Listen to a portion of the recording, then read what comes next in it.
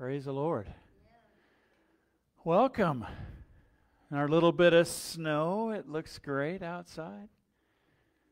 A little bit, it looks good from here. Looks good. Well, welcome to Community Chapel. it's good to see all your smiling faces. Most of them are smiling anyway. Yes, smiling faces. So, so we get started this morning. I'd just like us to lift up uh, some praise to the Lord, and and uh, we had a transfer of uh, leadership in our country. I want us to pray for our new president and our folks down below them, and just uh, as God leads us in a new time. So let's just praise the Lord. Father, we thank you for this day.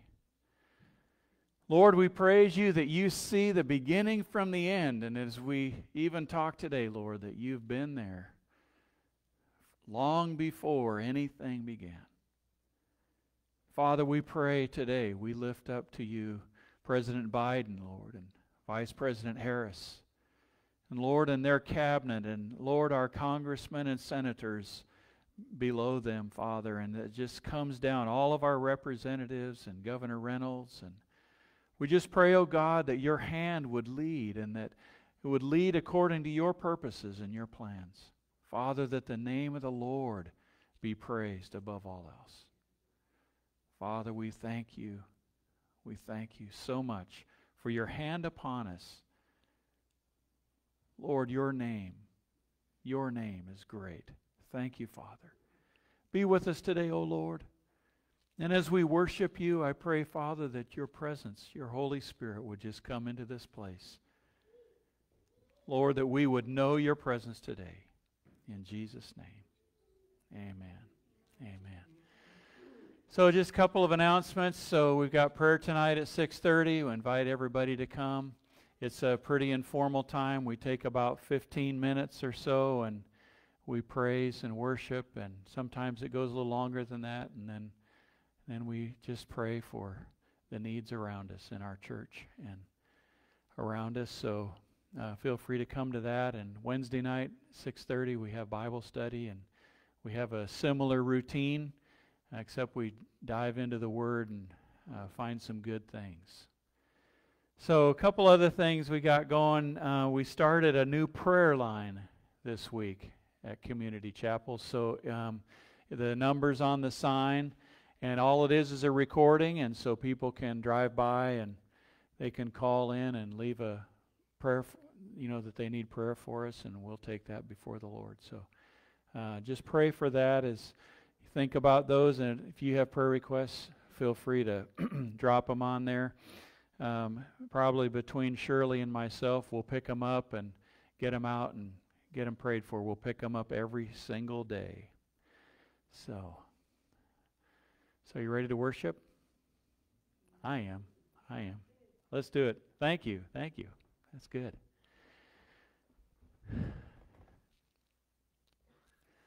So, we haven't done this song in a while. It's called Great Are You, Lord. And it goes like this.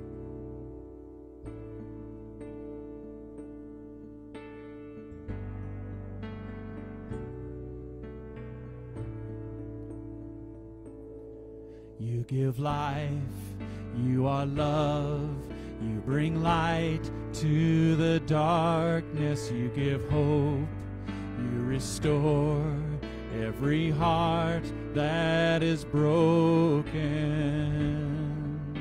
And great are you, Lord.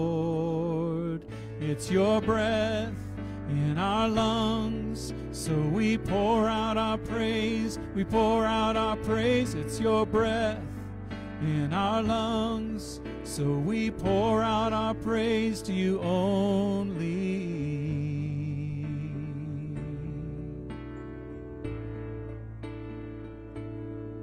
You give life, you are love, you bring light to the darkness, you give hope restore every heart that is broken. And great are you, Lord. It's your breath in our lungs, so we pour out our praise. We pour out our praise. It's your breath in our lungs. So we pour out our praise to you only. It's your breath in our lungs. So we pour out our praise, we pour out our praise. It's your breath in our lungs. So we pour out our praise to you only.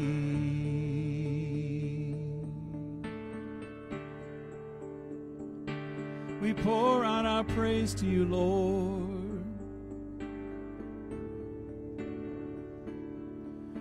And all the earth will shout your praise. Our hearts will cry, these bones will sing. Great are you, Lord. And all the earth will shout your praise. Our hearts will cry, these bones will sing. Great are you,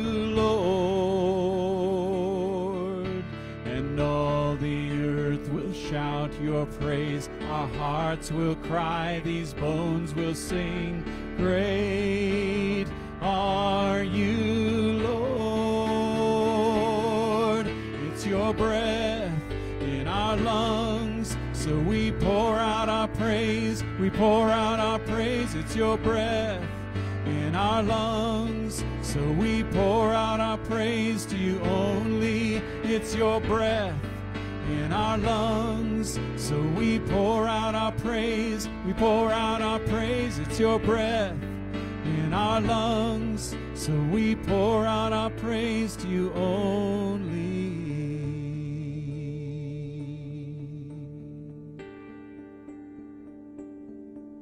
We pour out our praise to you, Lord. Bless the Lord, oh my soul, oh my soul. Worship his holy name. Sing like never before, oh my soul. I'll worship your holy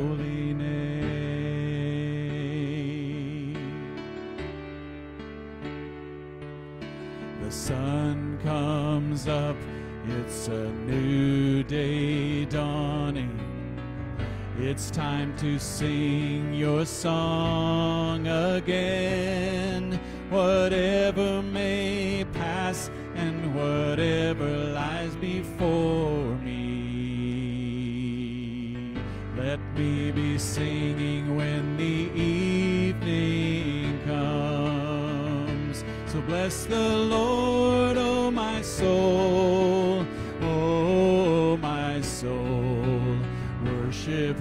holy name. Sing like never before, oh my soul. I worship your holy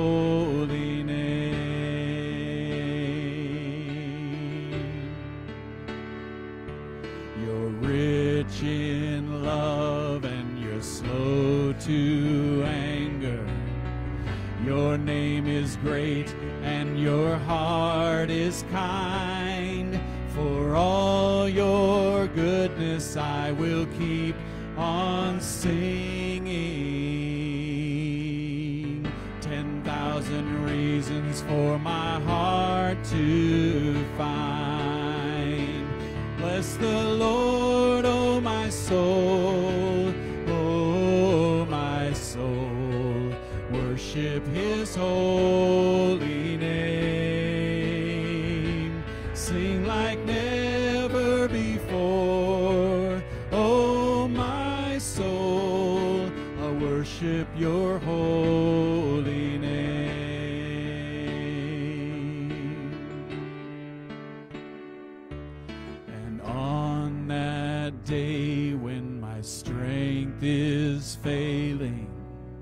the end draws near and my time has come. Still, my soul will sing your praise unending.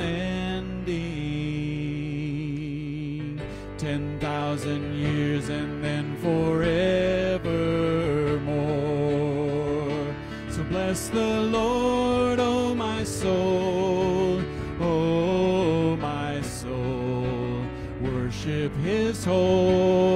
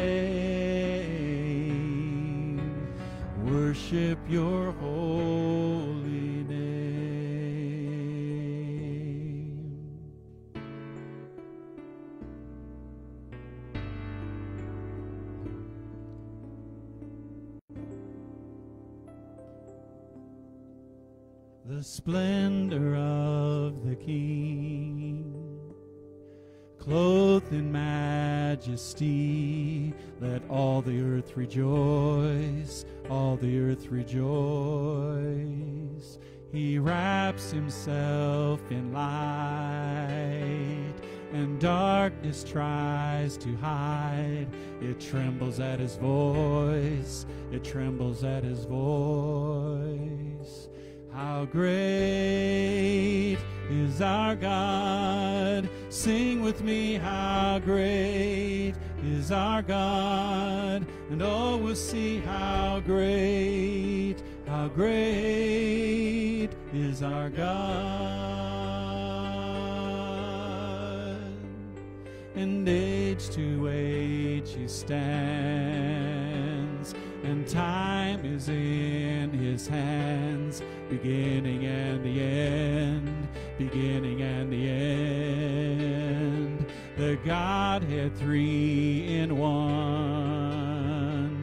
Father, Spirit, Son, the Lion and the Lamb, the Lion and the Lamb. How great is our God! Sing with me, how great is our God! And oh, we'll see how great, how great is our God. How great is our God. Sing with me, how great is our God. And oh, we'll see how great, how great is our God. He's the name above all names. He's worthy of all praise. And my heart will sing, how great is our God. He's the name above all names. He's worthy will sing, how great is our God. Let's sing the name above all names. He's the name above all names. He's worthy of our praise. And my heart will sing, how great is our God. How great is our God. Sing with me, how great is our God. And oh, we'll see how great, how great is our God.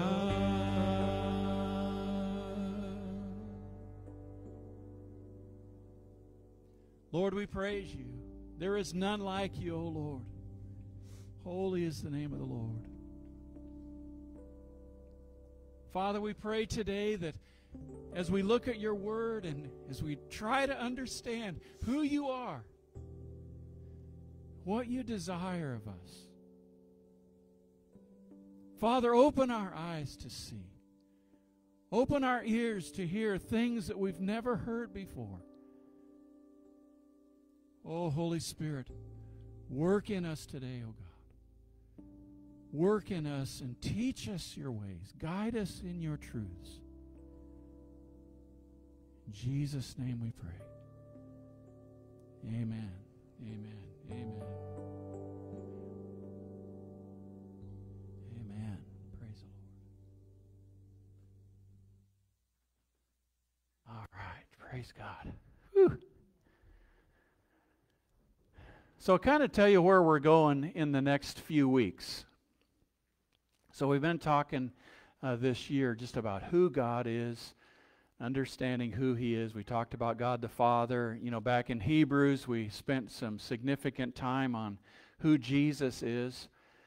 And so we're starting into a little bit of the Holy Spirit, and we're going to also start coming in the next few weeks and just talking about worship and understanding what He is. Because you have to understand, we have to understand, that God instructs us in His ways. God instructs us in His worship.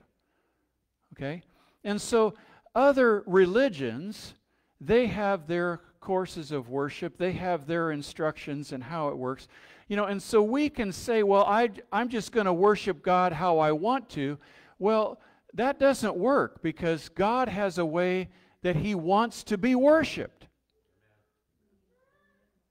I'll say that one more time. God has a way that He wants to be worshiped. Jesus says that God is a spirit, and those that worship Him must worship Him in spirit and in truth.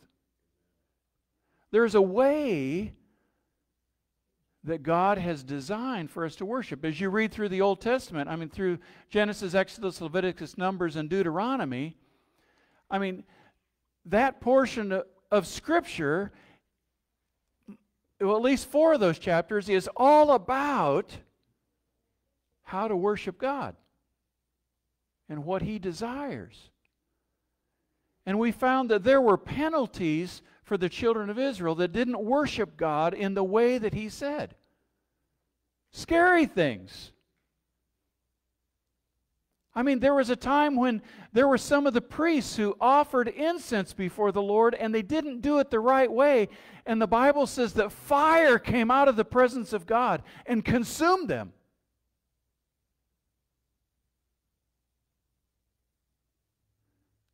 And that's not the only time. And even in the New Testament, when we, uh, we see a story in the book of Acts about a couple named Ananias and Sapphira. And they were godly people, they were part of the new church of God. And God used them as an example, and they decided that they would lie to the Holy Spirit. And as they came and presented their lie before the elders in the church, the Holy Spirit killed them. Just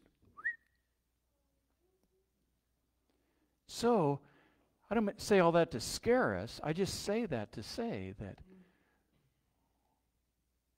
when we come before the Lord, we come before Him in a proper way. We learned in Hebrews that Jesus really cut through a lot of the red tape. Just right? Back in the camera, sorry. But Jesus cut through a lot of that red tape, and now Hebrews tells us that now that we can just walk right in. Walk right into the presence of the Lord that was at one time restricted for just a few.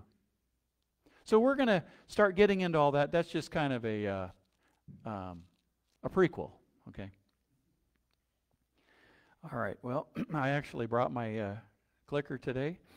We're all happy about that. This has been an interesting day, to say the least.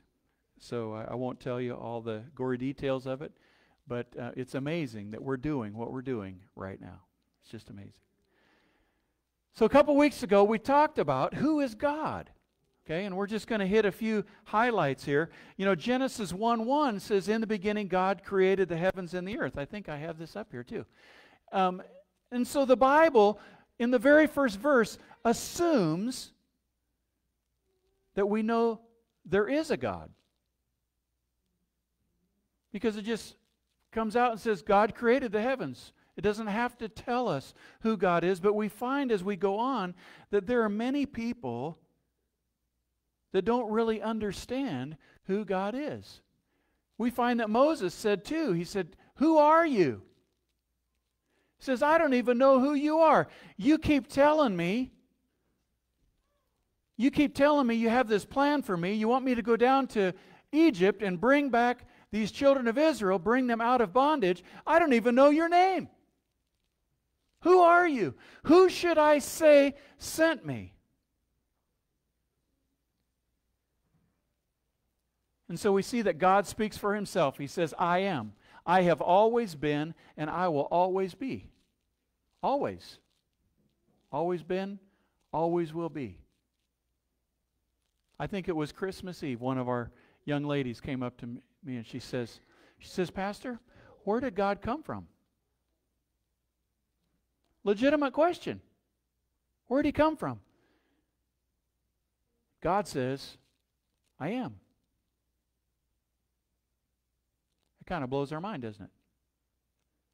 It messes with a finite mind that everything has a beginning and an end, and yet God says, I have always been. I will always be. So Jesus teaches us about God too. And this is an interesting place in John 4, he says, God is a spirit. I just shared this verse with you. God is a spirit, and they that worship him must worship him in spirit and in truth. He's giving these instructions to the disciples.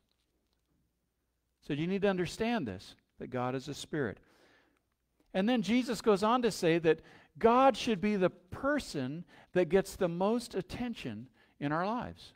And this is what he says he says this He says, The first of all the commandments is, Hear, O Israel, the Lord our God, the Lord is one, and you shall love the Lord your God with all your heart, with all your soul, with all your mind, and with all your strength. That's what he expects. And all through Scripture, we see examples of people who did and people who didn't. And those are the examples that we have before us that teaches us how to follow God. So last week, we talked about this knowing God or Facebook friends. And we just talked about, right, you know, a lot of us just know God because we know somebody that knows somebody that knows somebody that knows God. Do you know God? Oh, yeah. Yeah, I got a friend, and his friend told me about his friend that knows God. And God's like this because he told him, told him, told him, told me. So yeah, I know God. I'm I'm friends with God. Or do we know God? All through Scripture, God tells people, He reveals Himself, and He shows people, He reveals people who do know God, and then He shows people who don't know God. And there are ways that we can know whether or not we know God. So, we learned last week that knowing facts about God is not the same as knowing God. Just like knowing facts about me doesn't mean you know me. I mean, you could go out of this place today, somebody could come up to you and say, Do you know Marv Lombard? Yes, I do. But each of you know me in a little varying degree. This lady up here on the front row, my wife, knows me better than any of you ever will. God wants us to know Him. So we find last week that knowing someone requires time spent. You can't know anybody without spending time with them. My wife knows me so well because we live in the same house together virtually 24 hours a day. And we've done that for almost 43 years. Go figure that one out. You don't have a chance of knowing me like that. Sure, you do. And you just keep believing that. I can bring it right back. so we see that if knowing a person in a relationship requires time spent, then knowing God requires time spent. It requires that. You can't get to know God without spending time with God. So Jesus says this that there is one necessary ultimate goal, Jesus says, to know God. John 17, that's what he says. That's the only thing that's important. Because if you get this, everything else will come together. In fact, um, look at, I'll show you in Jeremiah chapter 9. Listen to this verse. But those who wish to boast should boast in this alone. So that means if you're going to boast, there's only one thing worth boasting about that they truly know me and understand that I am the Lord who demonstrates unfailing love and who brings justice and righteousness to the earth. That's the only thing worth knowing. And that I delight in these things. I, the Lord, have spoken. You want to, you want to brag about something? There's only one thing I care about, God says. Know me. Know me.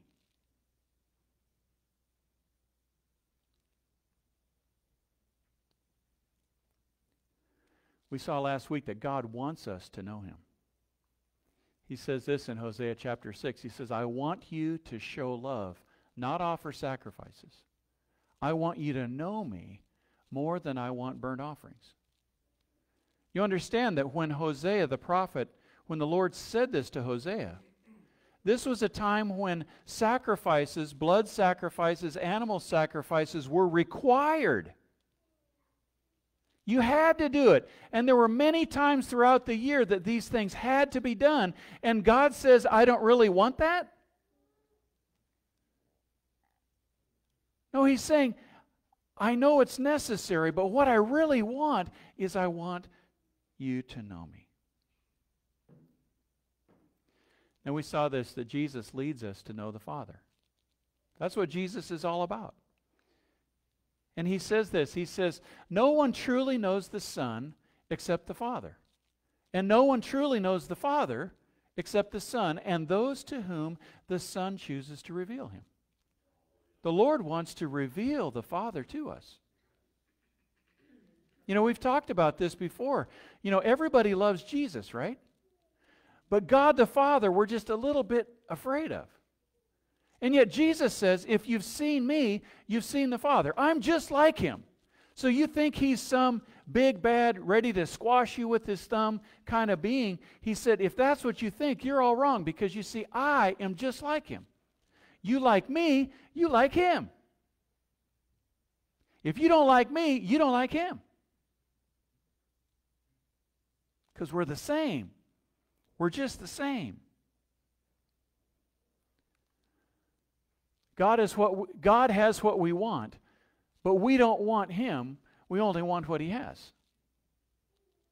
We saw that last week. And so we see that God has all these benefits for us, and we want those benefits. We want salvation. We don't want to go to hell. We want to live. Okay? But we don't want to do things His way. Jesus said this He says, How can you say you love me and not do what I say? It doesn't make any sense. It says, You say you love me, then do what I say.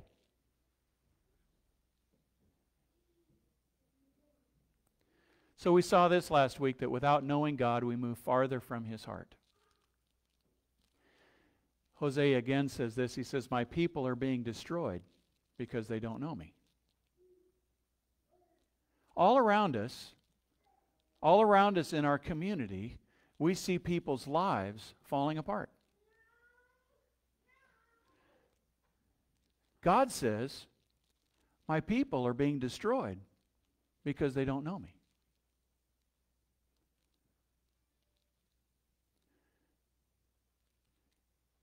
You know, Leighton and I were talking a few weeks ago about this guy, a businessman who uses his vehicle for business and found that this guy, for some reason, hadn't changed his oil or hadn't checked his oil. You know, and this is a lot like the Christian life. You know, in our vehicles, we there are things that we have to do. We all know people who don't take care of their vehicles, right? And so they drive them until they're alongside the road and that's where they stop.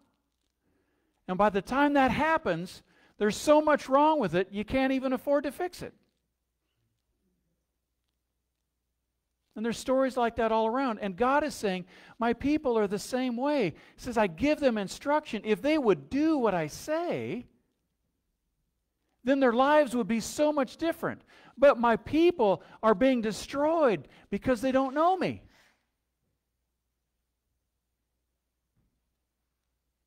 Because they say they love me, but they don't do what I say. I'm going to get stuck in here and just keep pre- preaching this message again, and I don't think you want me to do that, but it's good. Knowing God moves us in the direction of His heart.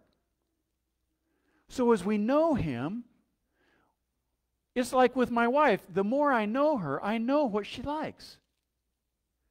And so that kind of moves me to do things that she likes, right? Why would I do things she doesn't like?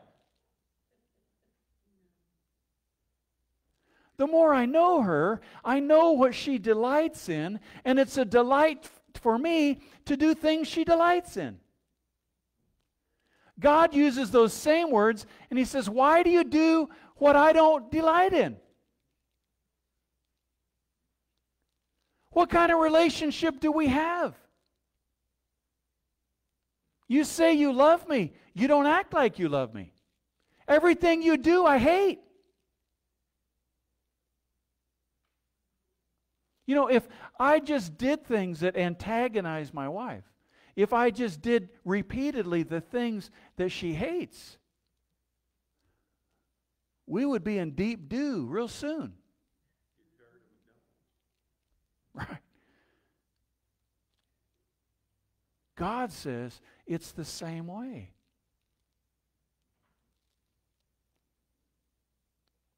Look at this Psalm Knowing God requires a humble heart. He says, for David says, For you do not desire sacrifice, or else I'd give it to you. So you remember, God already just said in Hosea that I don't really want sacrifices, I want you to know me. David figured this out before Hosea even lived. And he said, For you do not desire sacrifice, or else I would give it to you. You don't delight in burnt offering. The sacrifices of God are a broken spirit, a broken and a contrite heart. These, O oh God, you will not despise. What I'm really looking for, I want your heart. That's what I want. So we saw at the end that we really need to get after this one thing. It's one thing of knowing God. That's the only thing we need to do. All the things that we think we need to do in our lives, all the things we think we need to do to honor God or to do God's thing, or all the things we think we're doing wrong, we need to do one thing. And that's to know God. And we start little. And we start moving towards God, and God begins to work out everything else.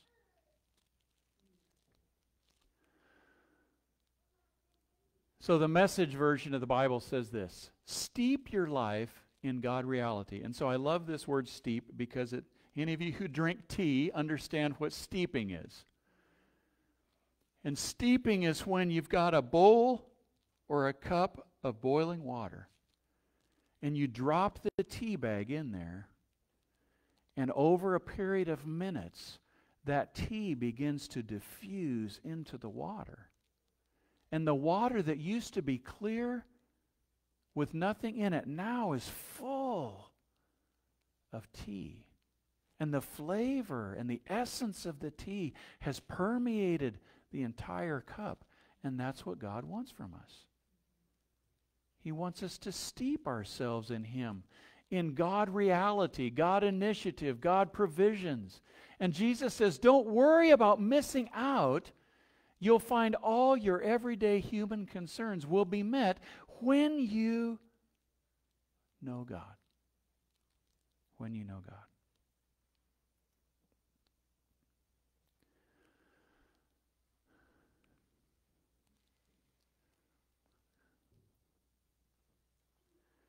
So I'm going to start preaching now. Okay?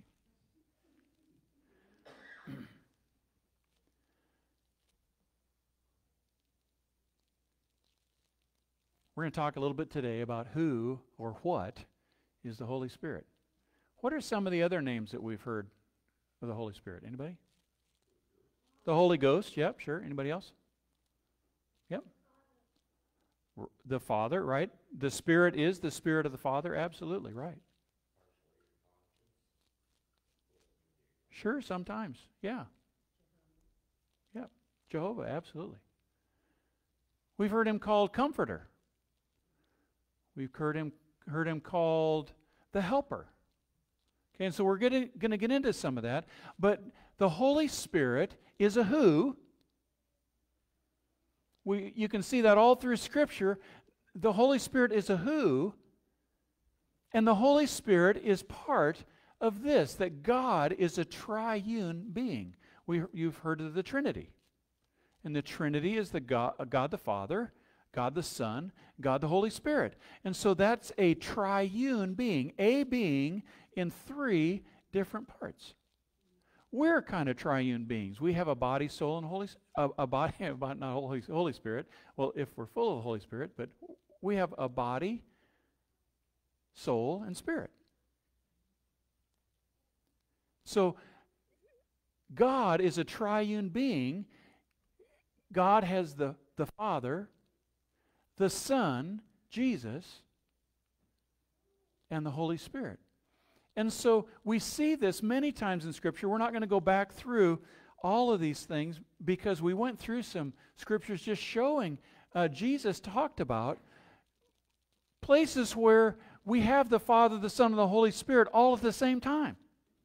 Most of the time, we see the Scripture talk about the Father or God or the Son or the Spirit but sometimes we see them all together at the same time.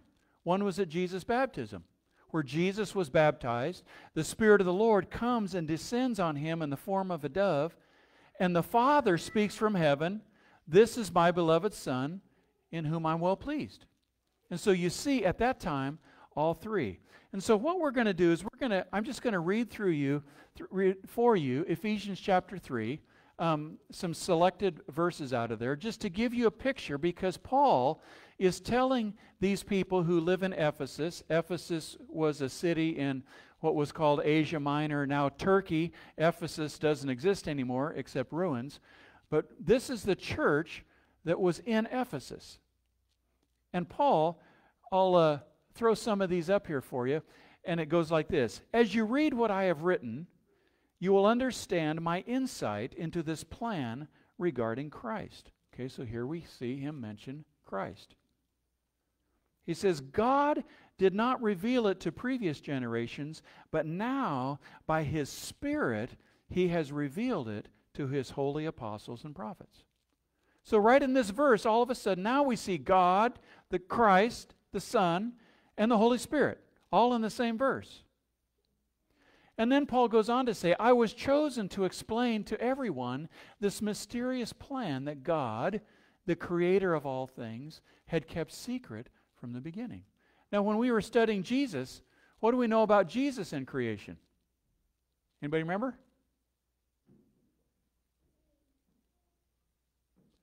Jesus was at creation too. John tells us that nothing was created that was created that Jesus didn't create. So now we see God, the creator of all things, includes Jesus. And so then we go to the next verse and says God's purpose in all this was to use the church to display his wisdom in its rich variety to all the unseen rulers and authorities in the heavenly places. So this was God's eternal plan, which he carried out through Christ Jesus our Lord. So we're seeing this Trinity again God's plan carried out through Christ Jesus. Because of Christ and our faith in Him, we can now come boldly and confidently into God's presence. Remember what we learned in Hebrews. We talked about that today, that because of what Jesus did, now we can go boldly into His presence. Now in Ephesians, we see this again, that because of Christ and our faith in Him, we can now come boldly and confidently into God's presence.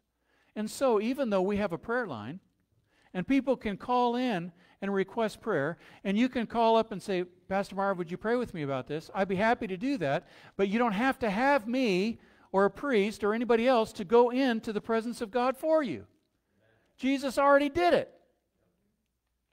And Jesus forever intercedes for us. He sits at the right hand of the Father, the Bible says, interceding for us. We don't have to have each other, even though we get strength from each other. We can go right in. In the middle of the night, I don't have to call up one of you guys. I can just get on my knees and go right in. Because that's the way it works. Paul goes on and says, When I think of all this, I fall to my knees to, and pray to the Father, the creator of everything in heaven and on earth. I pray that from his glorious unli- unlimited resources, he will empower you with inner strength through his Spirit. I want to read that one more time here. So the Father is saying, so uh, Paul says, when I think of all this, I fall to my knees and pray to the Father, the creator of everything in heaven and earth. What did Jesus say? What is the Lord's Prayer? How does it start? Our Father. Our Father in heaven. And so Paul is saying, I fall on my knees and pray to the Father, just like Jesus taught me to. And I pray that from his glorious, unlimited resources, he will empower you with inner strength through his Spirit. The Holy Spirit is the vehicle that God empowers us with.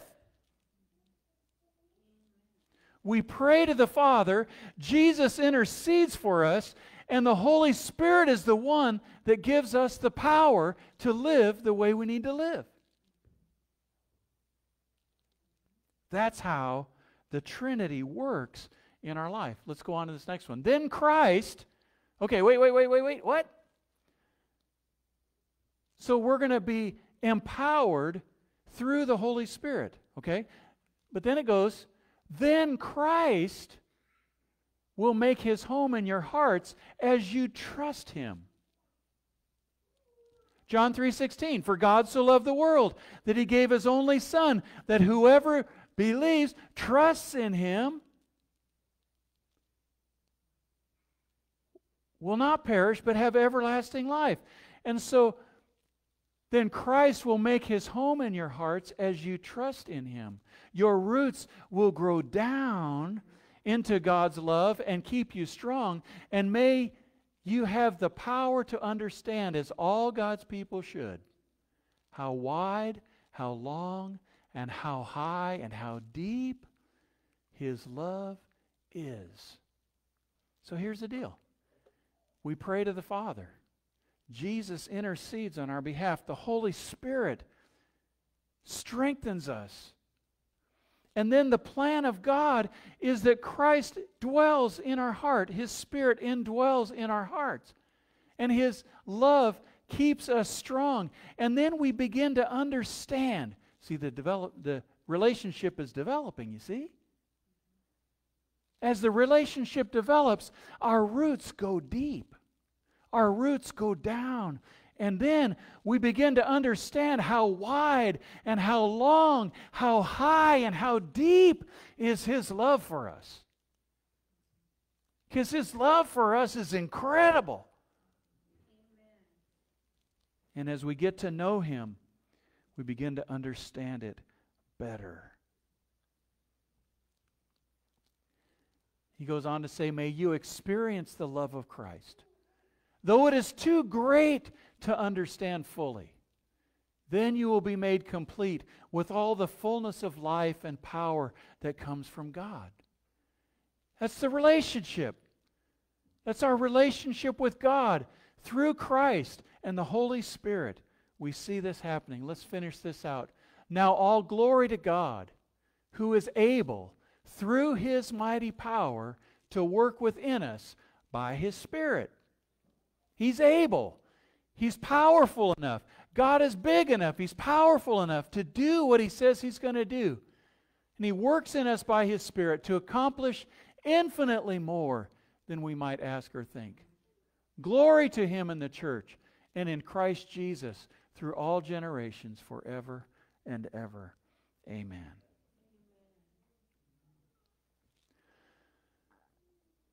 You know, it seems it seems like we're a lot more familiar with Jesus than we are with God the Father or the Holy Spirit. And yet Jesus says, I really want you to know God the Father. I want you to know Him. You need to know Him because knowing Him is the essence of everything. So if you know God, we struggle with sin, when we know God, His heart starts to transfer into our heart. And so, just like with my wife, all of a sudden, I know what she likes. I know what God likes. And I find myself doing the things that God wants me to do. And it's not even very hard because I love Him and I want to do what pleases Him. You know, one of the reasons we're going to step into some time on the Holy Spirit in these next few weeks is because I really feel like what we understand of the of the Holy Spirit, a lot of a lot of times we underrate the Holy Spirit. I'll say that one more time. I think a lot of times we underrate the Holy Spirit. We do because it's just like I could name any of you guys and just say, well, yeah, I know him, but, you know, not a big deal. I mean, who, who would want that? Who would want me to say that about you? Because each of us, as we get to know each other, are wonderful people to know, wonderful people to love. But if we don't know each other, how do we know that? And in the same way with the Holy Spirit, we find too that many times the Holy Spirit is misrepresented. Because we've believed or we've seen people act like they know the Holy Spirit and they don't. And we've been introduced perhaps to the Holy Spirit from somebody who doesn't really know them. And all of a sudden we go, I don't, I don't really want to know him. I don't want to know the Holy Spirit. I don't need that. I don't need to know you. Yes, I do.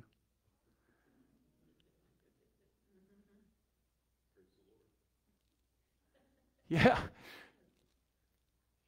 Because the Spirit is the vehicle through which God works. And without Him, we're lost. You know, the Holy Spirit can be grieved. So, what I'm going to do, I'm just going to take a, a couple minutes here. You know what? No, I'm not.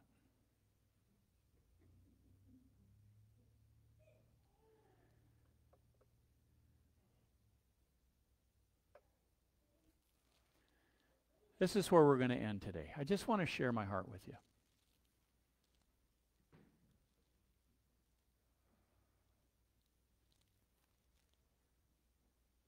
God is doing a work in the church around the world.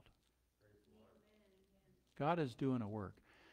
And I've been involved in the church. I haven't always been a Christian, but I've been involved in the church all of my life. Absolutely every moment of my life. And I have watched things happen. And what I see happening now, even in the United States, even in 50317, even in Des Moines, I'm seeing a coming together of pastors who long for things of the Spirit. You know, when I was a teenager, there are many of the denominations in, in Des Moines, in, in our country, in the world, that, that would have said that, that outward expressions of the Holy Spirit were of the devil. And that's not very prevalent anymore. Because anywhere men and women hunger for God and want to know Him find that this element of the Trinity, the Holy Spirit, is essential. And I pray every week with pastors from churches and denominations that in their bylaws probably don't do, don't say what these pastors say. But these men and women are hungry for God and seeing the power of the Holy Spirit move in miracles and love and just things of the Spirit. It's amazing what God is doing. And the Holy Spirit is gentle. The Holy Spirit is loving and kind, and He is the infuser of our lives with the things of God. It's the Holy Spirit, one of the reasons why you sit here whole today with us. Right?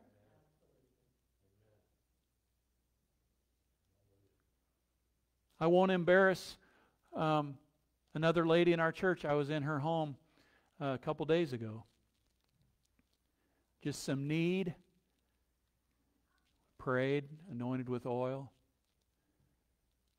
And the Holy Spirit just came down in that apartment. Just came down. Just filled the room. And after prayer, we worshiped together a little bit. And you know what?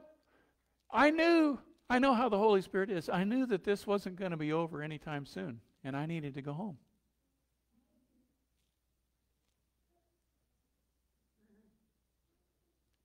And this lady from our church is just sitting on her sofa, just worshiping the Lord. Just the Spirit of the Lord just resting on the place. And I just eventually put my hand on her shoulder and said, I'm going to leave. Just let the Spirit do what the Spirit's doing. And I let myself out. God is moving by His Spirit and all of us, well, I don't know if all of us, but I know I have, I've seen things of, that have been called of the Spirit that are just freaky. My grandpa was a Southern Methodist minister back in the 30s, and he rode, he was a circuit riding preacher. I don't know if you ever heard of anything like that, but he rode a horse between three or four towns in Arizona and preached in four, three or four of these different churches. And my grandpa didn't really know what he was doing, and but his heart hungered for God, and the Spirit of the Lord came upon him one day and just really infused life into him. And so he began to share this with his churches. And the and the denomination wasn't real happy about that, even though John Wesley had this experience himself.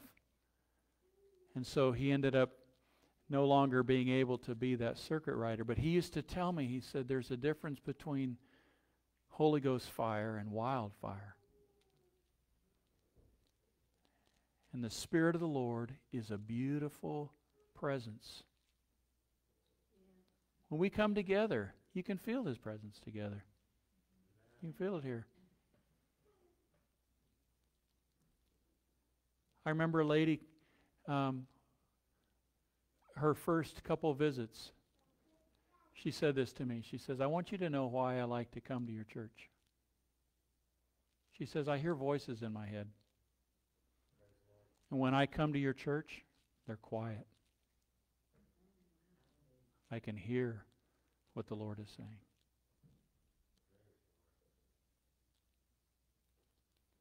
You know, some of us haven't hungered for God.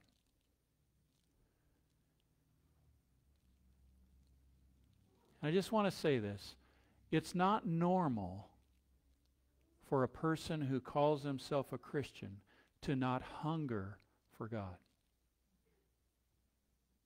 Any more than it's normal for a baby to stop eating. Every single one of us are going to leave this place today and go eat something. Right? Yeah, right on. I'm with you, buddy. Where are we going? Right? Every single one of us. Because our bodies need nourishment. I tell you, our spirits need nourishment. And, a, uh, and there's something wrong in a Christian life that does not hunger for God. There's something wrong. And I'm not saying it's irreparable, but if your heart, if you consider yourself a believer, and you may not, but if you consider yourself a follower of Jesus and your heart does not want more of God, there's something wrong.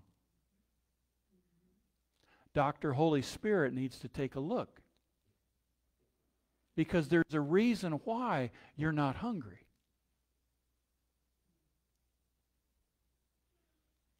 There's a reason why.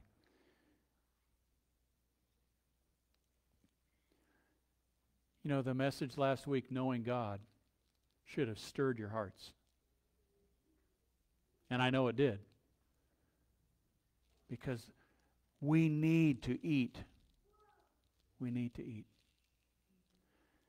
So, that's where we're going to stop this morning. But I just encourage you look in your heart how hungry are you? How hungry are you? And if you need help learning how to feed yourself, we can, we can help with that. Start with a little daily bread. There's a couple left back there, right outside the door. Yeah, grab a couple of them.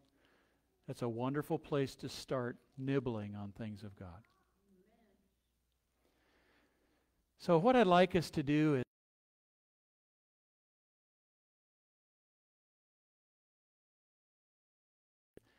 uh, we're just going to sing this song together, and many of you, many of you know it. It's certainly not new. I come to the garden alone while the dew is still on the roses, the voice I hear falling on my ear, the Son of God discloses. Second verse. He speaks, and the sound of his voice is so sweet. The birds hush their singing, and the melody that he gave to me within my heart is ringing.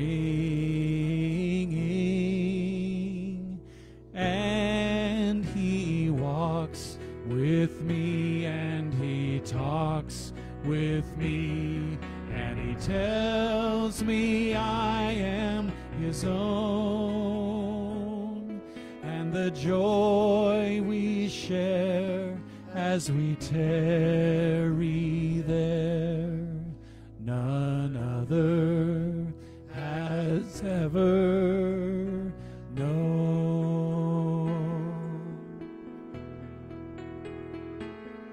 I'd stay in the garden with him, though the night around me be falling.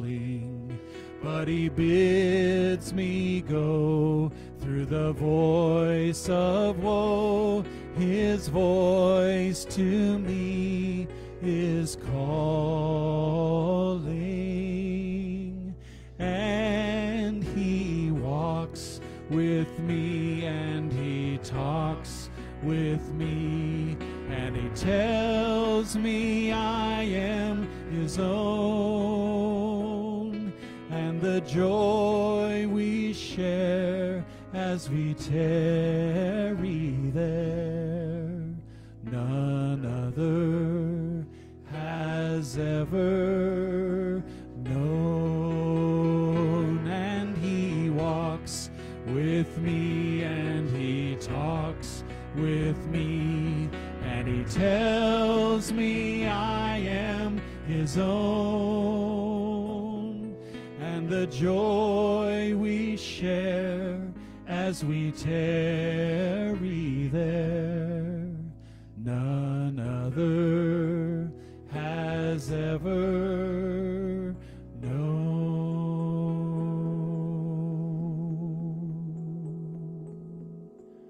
Father, that's our desire. Father, we want to know you. We want to know you, Jesus. We want to know you, Holy Spirit. That's our longing. Father, I pray you would help us to want you more, to hunger more for you. Lord, as we come before you, when we step into that holy place, Father, lead us. Lead us to a deep relationship, to a deep rooting of our lives in you. Lord, help us to find that one thing knowing you. Thank you, Father. Thank you. In Jesus' name, amen. Praise the Lord. Praise the Lord. Have a great day. Lord bless you.